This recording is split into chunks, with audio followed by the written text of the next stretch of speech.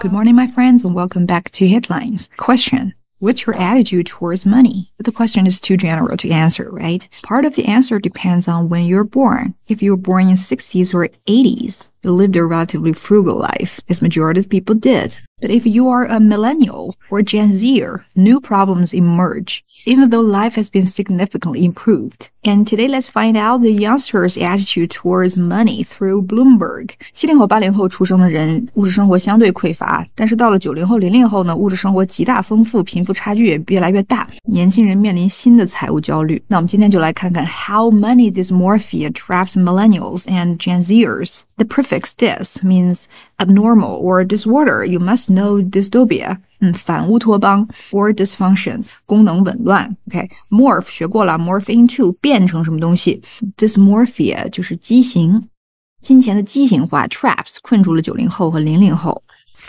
Never hesitant to rebrand existing phenomenon. Millennials and their Gen Z frenemies are admitting to have money dysmorphia, a feeling of insecurity around their financial situation, even when the true picture reveals little cause for concern. 43% of Gen Z and 41% of millennials said that they suffer from flawed perceptions of their finances. While it might sound like another form of TikTok induced anxiety, money dysmorphia is a real problem that can cause someone to make poor or ill formed decisions. Brand 是品牌的嘛，rebrand is to reshape or rename，重塑、重命名。Say rebrand America，重塑美国，and rebrand a phenomenon is rename the phenomenon，重新命名了一个现象。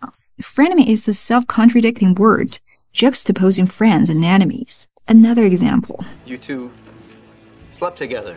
That is awesome. Admit to something is to accept something. 亦敌亦友的九零后和零零后都接受了这个已经存在的老现象的新命名。OK，money、okay, dysmorphia。虽然事实上没有什么可担心的，但他们觉得自己的财务上没有安全感。 A flawed perception 有缺陷的感知。You could also say a flawed tool or character or a study. TikTok induced anxiety 啊，这是个好词，由社交媒体引发的焦虑。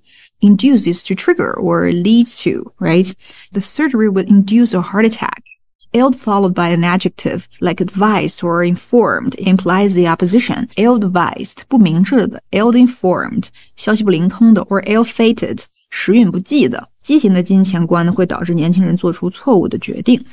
Having a financial perspective rooted in fear rather than fact is nothing new. Those of us with grandparents belonging to the greatest generation will recognize the Depression era scarcity mentality. An upbringing in which finances were tight will have a lifelong impact on how one thinks and interacts with money. Uh, the trouble with money dysmorphia is that it can distort the thinking of someone whose lived experience is not one of scarcity but of stability.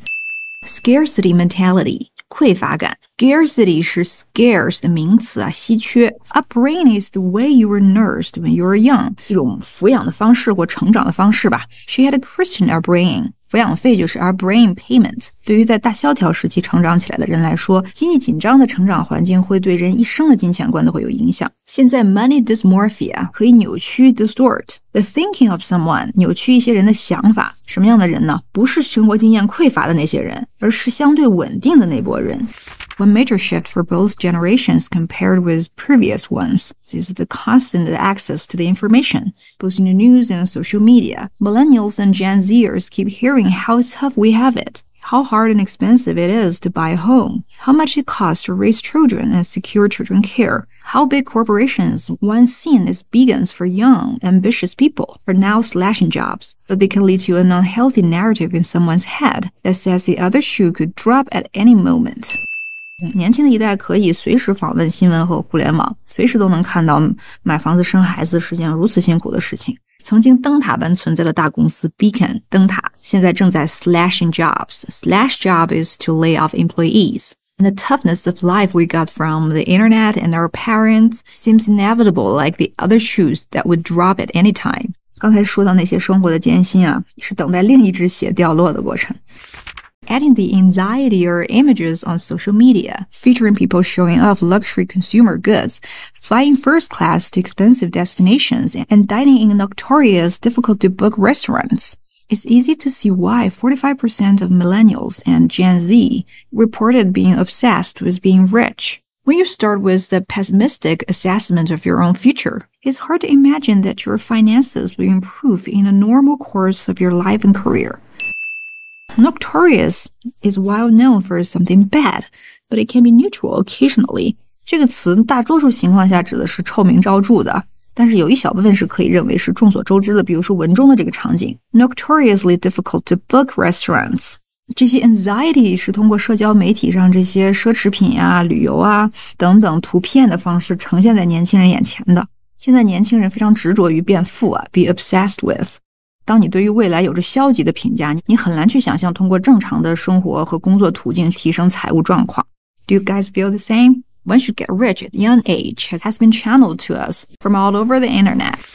Yet instead of being a constant state of uneasy, millennials and Gen Z could ground themselves by doing the math on what amount of money would make them sleep easier. Fixating on this nebulous goal like getting rich isn't helpful compared with putting numbers on the page and the timeline in place.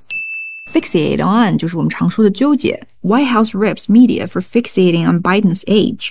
白宫批评媒体纠结于 Biden 的年龄。Nebulous comes from nebula，星云啊。a nebulous goal is a vague and unclear goal，不那么清晰的目标。 The great thing about British values is how nebulous and undefined they are。与其纠结于变富这样模糊的目标，不如写下具体的数字和你的时间安排。I like this article. Not only does it offer some insights about the attitudes of young people towards money, but also the language useful and practical. You could find plenty of descriptive adjectives and adverbs, and that would be helpful for your writing. So I hope you would enjoy reading this article as I did, and I'll see you next time.